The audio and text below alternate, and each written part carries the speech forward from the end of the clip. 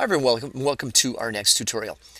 This tutorial here, we've got a DC battery, which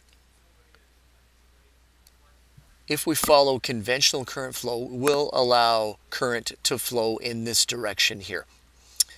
Now, this is a parallel circuit. In other words, when the current flows, out this direction, current can go down this path or it can go down this path here.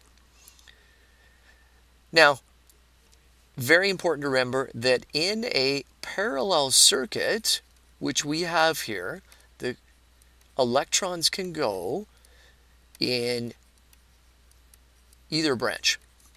But what we must remember is that electrons travel through the path of least resistance.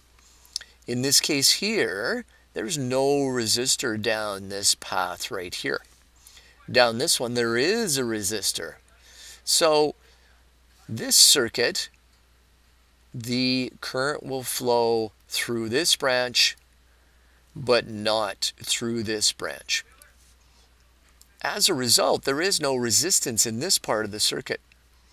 This is what we call a short circuit and it will short our battery.